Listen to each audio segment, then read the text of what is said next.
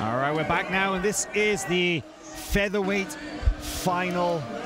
We have a match between, on the left, Isaac Doederlein with the green and yellow belt up against the one and only Paulo Miyao.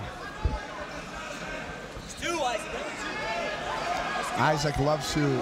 He's one of the lightweight that plays better on top position. A lot of pressure, agile, training under Cobrinha. Paulo Miyao, as you all know, very active in the competitions. You know, and um, one of the toughest guard on the planet.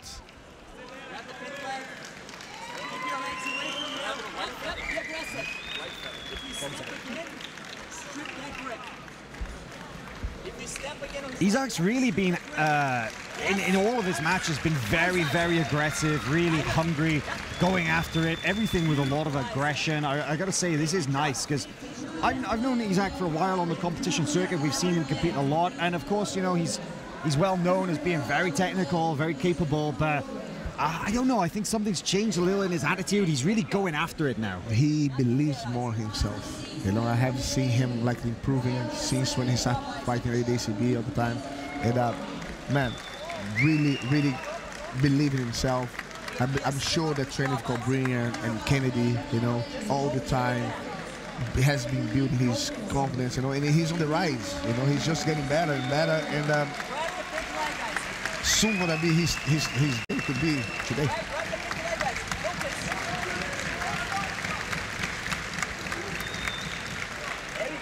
Of course, Paulo Miyao, one of the best featherweights in the world today, known as one of the the best, the most consistent and competitive black belts. And now coming back just a few months ago from a, a two-year suspension. And we know that he is hungry. We know that he wants to go out there this year and he wants to compete in everything. He told us he's going to do everything he possibly can. He's going to compete in every major tournament. He's going to compete in the got to go for the Grand Slam series, which of course is the uh, the four IBJJF majors. And we already knew him as one of the busiest black belts, but now that he's back, I think that he's got a lot of catching up to do, and he's going to want to prove to everybody that he is champion material. Isaac's trying to set up that footlock that he surprised in, the, in the first match. You know, but I find this a little bit dangerous against Miyao because he's Miyao is specialized on leg drags and that position is really dangerous. Isaac, put him up the There we go. Put him up the balance to your right side every time, okay? This hand on the collar has to be there, Isaac. There you go. That's the danger of the leg drag there. You need to be careful. So that's what Miyao needs to put the knee, right knee on the floor right now, hide his foot. And um, through my experience of seeing Miyao playing, footlock is not a go-to thing to do, man.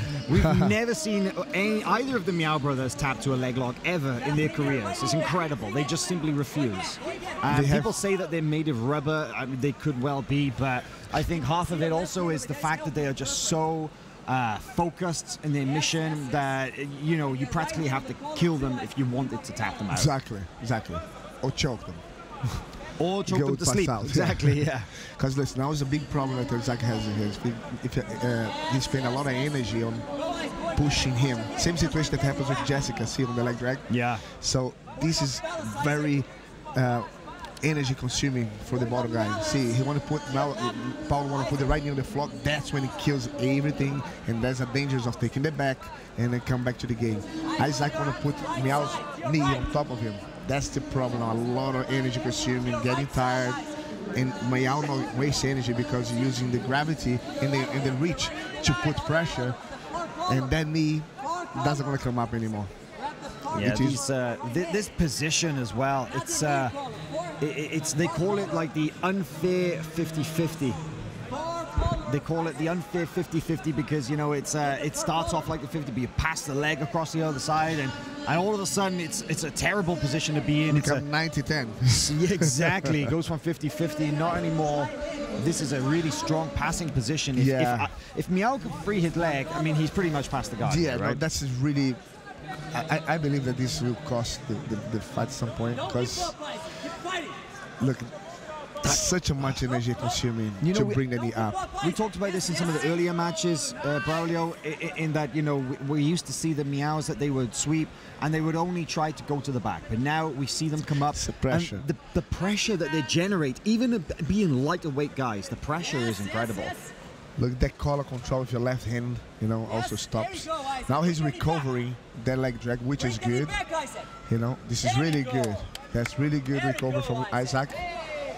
But it costs him a lot of energy, and that's the problem. All right, now we're going to get a, uh, a restart in the center, room. this will be a little bit more. Uh, a restart.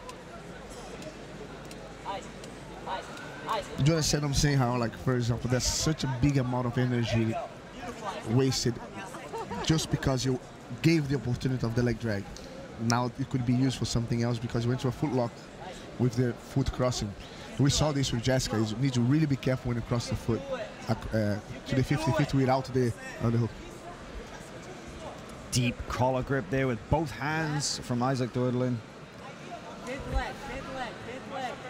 See the foot again. Great again. Berimbolo attempt. Wow, knocks Paulo all the way down to the ground, but couldn't quite spin underneath.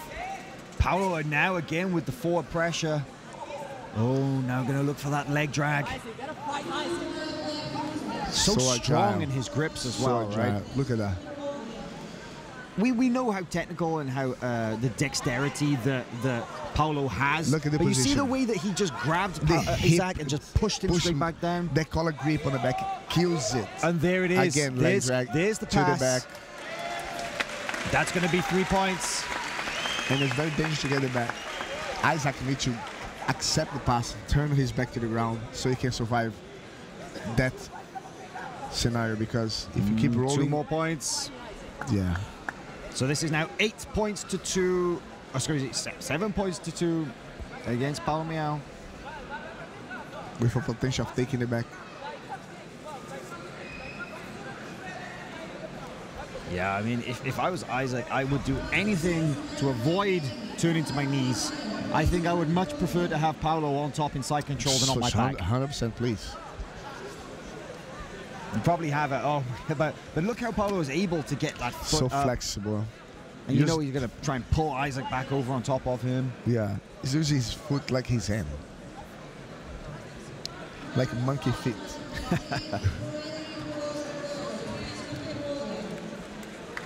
Paulo just taking a little look over at the uh, the scoreboard. Actually being coached by brown belt Taliesin Suarez. Taliesin Suarez, a gold medalist here at the European Championships today in the brown belt division.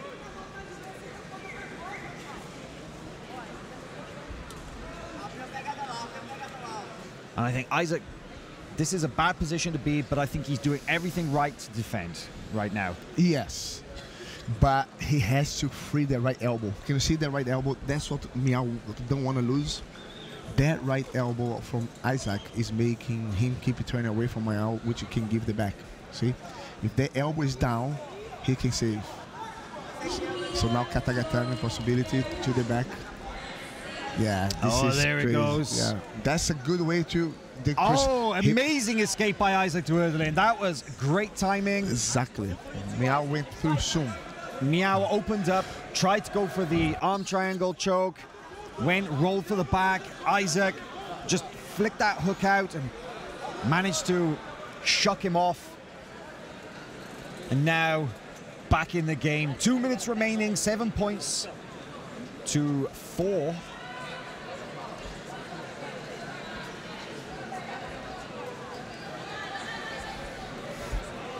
Go, Isaac. Get it going now, Isaac. Come on. Go for it, Isaac. Actually, it's seven points to two. We need to get a correction on that scoreboard.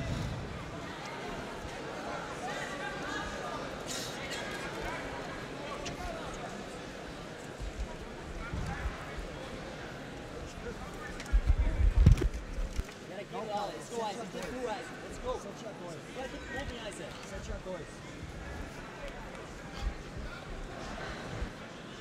One minute and 30 seconds, Isaac. Gotta go.